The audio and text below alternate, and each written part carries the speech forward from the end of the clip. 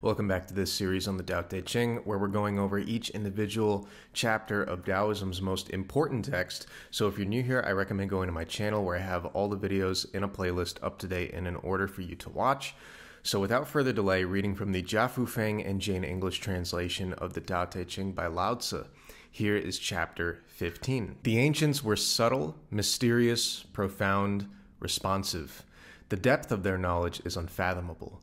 Because it is unfathomable, all we can do is describe their appearance watchful, as though crossing a winter stream, alert, like people aware of danger, courteous, like visiting guests, yielding, like ice about to melt, simple, like uncarved blocks of wood, hollow, like caves, opaque, like muddy pools. Who can wait quietly while the mud settles? Who can remain still until the moment of action? Observers of the Tao do not seek fulfillment. Not seeking fulfillment, they are not swayed by desire for change. So, in the first part here, the ancients were subtle, mysterious, profound, responsive. The depth of their knowledge is unfathomable. Because it is unfathomable, all we can do is describe their appearance. So, up to this point in the Tao Te Ching, we've been talking about you know, the Tao with some glimpses of the wise and the ancients, like mentioned here. And like always, we need to understand the language when we have the ancients or the wise. The wise, like I described in a previous chapter, is like those who follow the Tao. But the ancients might be a little bit different, and it is, you know, kind of up to interpretation. You know, it depends on which translation you're reading. The ancients could be referring to our ancestors that had that what is referred to here as subtlety that caused our lineage to develop such ways of thinking and being. Ancients could even mean the earth itself, nature itself, as the ancient ancestor, as we are nature, of course. And I think it's a mix of all the things that came before us that have led us up to this point. Whatever is part of the tree of life you know that is all those are the ancients you know you consider the roots of the tree maybe it's the unseen but all that came before before us is directly in line with the Tao as we are as well we just need to recognize it because the ancients here are being described because they were in line with the Tao. So there is a thin line here that's being drawn between the ancients and the Tao, kind of like the wise and the Tao. And of course, you could assume here that they're one in the same, as we are one in the same. Now, here's the kicker because they are so in line with the Tao, all we can really do, because, you know, think about chapter one, you know, words and labels are silly, they don't do it justice. All we can really do to understand them with our um, limited human perception is to describe their appearance right that's all we can really do especially you know as as we are the you know the life forces that animate these bodies that's all that we can really do and i love the language here because it sounds like a throwback like i said uh, to chapter one you know about uh, the Tao that cannot be told is not the eternal Tao. The words do not do it justice. You know, all we can all we can do is describe it with words or describe their appearance. Watchful as though crossing a winter stream, alert like people aware of danger, courteous like visiting guests, yielding like ice about to melt. It's like poetry. So here we have more parallels and metaphors for the Tao in in this kind of explanation that's actually a little bit more friendly, you know, to human understanding. Because, uh, like I said, you know, and I've said this a million times, you know, people have this idea that, um, you know, Taoism is the stare at the wall, do nothing kind of um, ideology or philosophy or whatever. And it's just like you, you, even read the Tao Te Ching, it's like this stuff is for us because it's like, okay, great. You can talk about, okay, it's the unknown. Okay, then what? Are we just supposed to say, well, it's all unknown? It's like, yeah, of course it's all unknown, but we still have um, an intellect. You know, we still have this part of us that thinks and everything. And like I said in, uh, you know, other chapters, this awareness is so important. You know, understanding and having a pursuit of knowledge is not like it doesn't make you a hypocrite. You know, it doesn't immediately make you out of line with the spiritual path. I think a lot of people who kind of think in this way are kind of adopting that strictness that comes with a lot of religion and philosophy and rules and things have to be right, you know, by the rules and everything. And it's like, this is all about non-duality, amorality, okay? Like and a human is a human the same way as a tree is a tree, okay? Trees grow in weird ways, okay? You're not going to point and say, "Well, this tree is being a hypocrite." It doesn't work like that. And so we're being drawn to these kinds of behaviors that we can actually practice to at least help us understand the essence. Because imagine being in, so in tune with the Tao. I think of these monks and these, uh, you know, uh, these priests, you know, all these religious figures that are so in tune with the infinite, you know, that like described here, that they like always acting uh, cautiously, you know, towards the world as though they were always crossing a stream, being alert of all threats, but nice enough to be like a guest in one's home uh, and not so eager, but slow, like ice melting. To me, a lot of these attributes, it really, personally, it reminds me of like a, an innocent deer, like alert, cautious, um, you know, but like courteous and graceful in how it naturally behaves. Again, going back to nature, right? And I really love the language here, and this really stuck out to me. The the the part about um, courteous, like visiting guests, and you know, I really think about how this whole idea with attachment, right?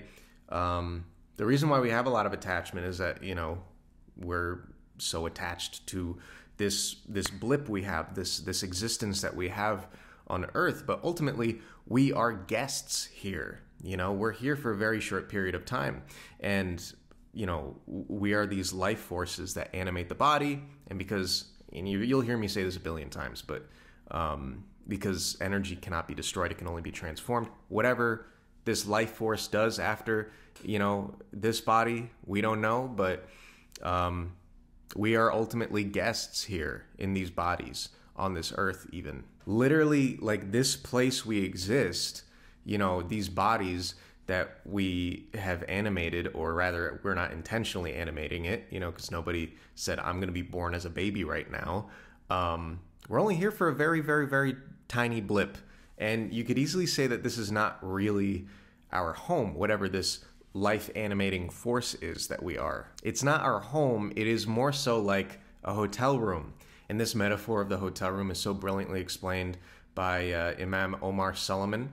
Uh, and as I paraphrase, you know, what he kind of said, this really, really stuck with me. It was so brilliantly said that not to be so attached, you know, to the physical things of this world, like buying furniture for a nice hotel room. No matter how nice the hotel room is, you need to remember that you're only there for a very short period of time. I absolutely love this metaphor. And in this way, we are courteous and humble and not attached to the physical world because we're going to be going pretty soon. And we can't take any of this with us, physically speaking.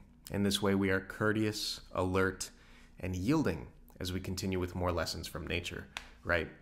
So simple like uncarved blocks of wood, hollow like caves, opaque like muddy pools. Furthering from the previous lines, you know, being true and unchanged like an uncarved block of wood. You've heard me mention this before in these videos. Now it's hard to be truly uncarved, right? And you have to we have to take all of this with a grain of salt, right? Because we are born into this world, we are affected by you know, our parents, how we're raised, the friends we have around us, our environment, this and that.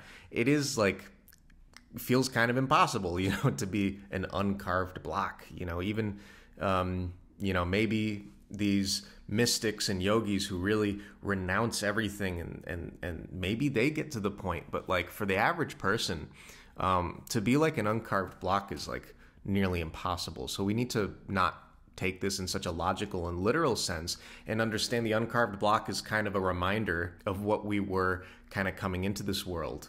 And that is our true, authentic self. Because as the world carves us left and right, which it will, you know, inevitably, we can't really go back necessarily to how we were. But it all starts with just becoming aware of the idea of the uncarved block. And in a similar way, you know, I've heard people say that there was no that the only true Christian was Jesus Christ, right?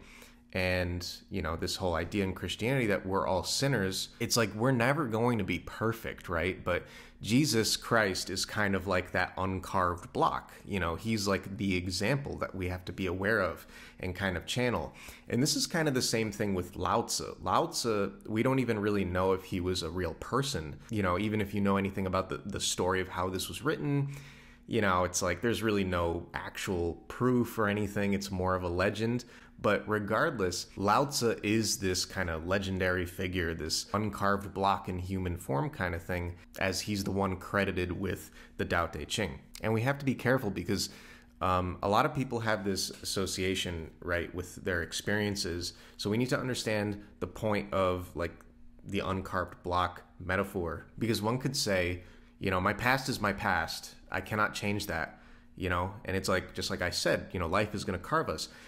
Exactly. You cannot change that, but your choice is whether you allow that, you know, these experiences or not to define you and to not allow your personality to be ingrained with the carvings and say, I am these carvings. These carvings make me who I am. So it all comes back to the perspective and the identification you have with your experiences, or carvings rather, which is ultimately what makes the difference. And like I said, nobody can become an uncarved block, okay? Like the same way that there can there can never really be a true understanding of, of non-duality or the Tao, right? But this is all about gutting out the identification and the experiences that seem to have a lock on our conscious or most likely also our subconscious, you know, and with that, to be hollow like a cave, not being filled to the brim, right? That's another throwback to a previous chapter. And unpredictable and mysterious like a muddy pool you know, how many people have you met who may think that they're so, you know, unique and self driven,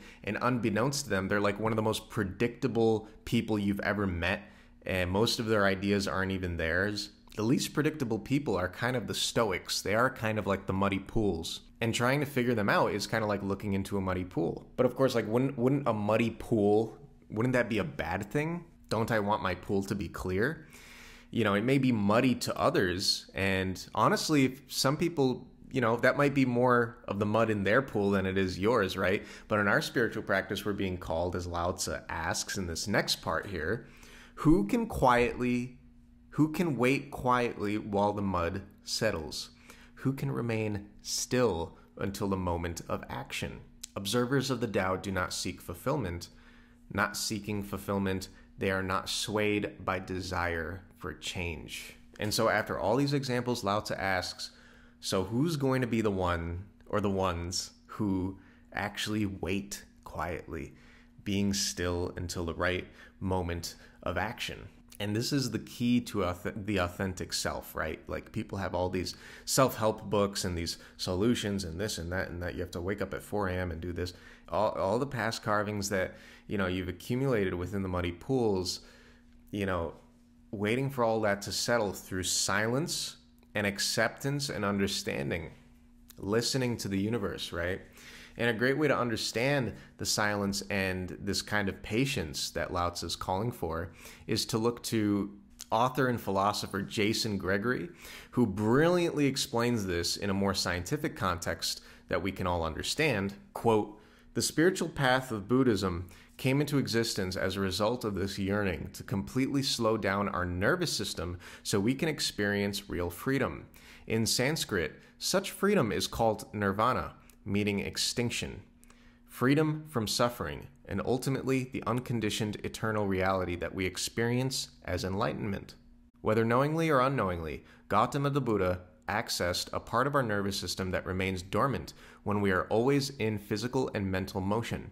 This part of our nervous system is known as the parasympathetic nervous system. The automatic nervous system is our central focus when related to psychological or spiritual inner work and transformation. The automatic nervous system has two branches the sympathetic nervous system and the parasympathetic nervous system. The sympathetic nervous system is sometimes considered the fight or flight system because it is activated in cases of emergencies to mobilize energy. It is what we activate when we are in motion and being stimulated through our senses. Without it, we could not do anything. The parasympathetic nervous system, on the other hand, is often considered the rest and digest or feed and breed system because it is activated when we are in a relaxed state. We activate the parasympathetic nervous system when we essentially do nothing. The parasympathetic nervous system is what makes us drift off to sleep every night. It is stimulated most when we relax deeply. The war on our nervous system is essentially the overstimulation of our sympathetic nervous system along with an understimulation of the parasympathetic nervous system. When we stimulate only the sympathetic nervous system without activating the parasympathetic nervous system, we increase the probability of chemical imbalances in our brain from not having a healthy, balanced lifestyle. Because of this, the vast majority of us are teetering on the edge of psychological suicide. This is from the book Fasting the Mind by Jason Gregory, Chapter 2 War on the Nervous System. And I put that in because Jason really just explains it just so perfectly. Um, you know, so it's better to just giving you that quote instead of regurgitating it myself. And so a lot of this stuff, of course, you're going to hear me say this, uh, you know, a million times. It's easier said than done, right? But you think about how a lot of this applies to modern society and everything with our phones and, you know, we have 10 cups of coffee and you know i'm exaggerating you know we work 10 hours and this and that. And it's just like that's all sympathetic nervous system. We don't really give time for a parasympathetic nervous system. And that's when meditation comes in. That's when putting the phone away before bed comes in. Um, so everything that we kind of have you know at least in america i'll speak for america um, everything is kind of this you know get the next thing get the next thing. Everything's an advertisement.